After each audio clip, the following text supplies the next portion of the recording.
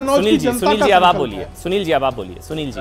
देखिए ये लोकतंत्र का पर्व है और इसमें सभी लोग भागीदार बन रहे हैं। हम हो आप हो और खास हो आम हो हर व्यक्ति।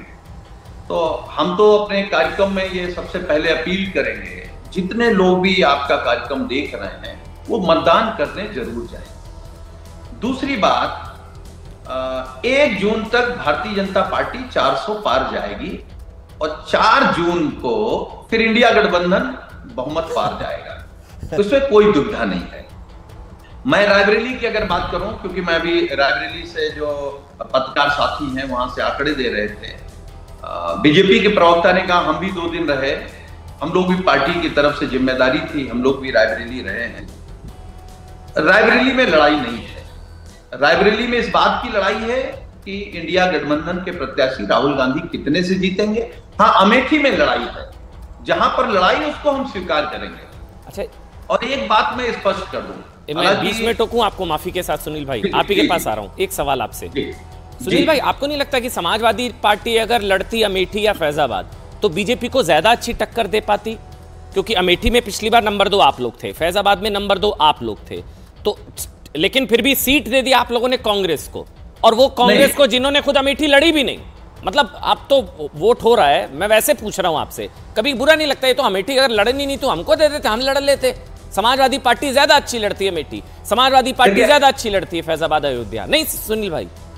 नहीं अमन भाई देखिए जब आपका किसी से समझौता होता है गठबंधन होता है तो गठबंधन के अपने धर्म होते हैं। फैजाबाद हम ही लड़ रहे हैं।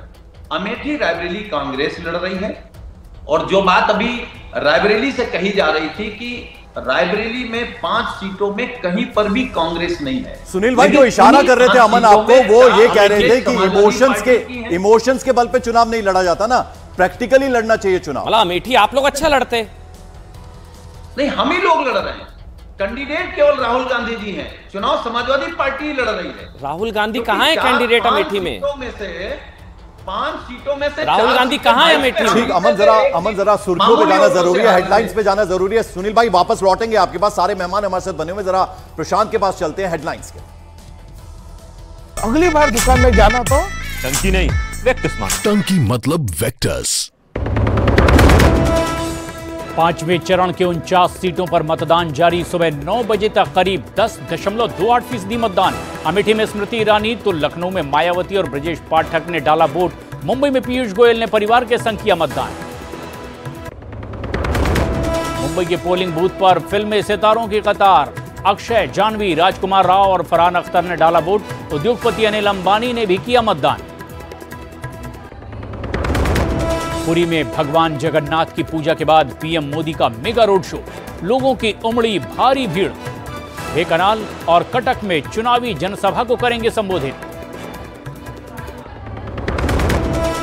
हेलीकॉप्टर हादसे में ईरान के राष्ट्रपति इब्राहिम रईसी और विदेश मंत्री की मौत। रेस्क्यू टीम को अजरबैजान की पहाड़ी पर मिला हेलीकॉप्टर का मलबा। अगली बार दुकान में जाना तो? टंकी नहीं वेक्टस टंकी मतलब वेक्टस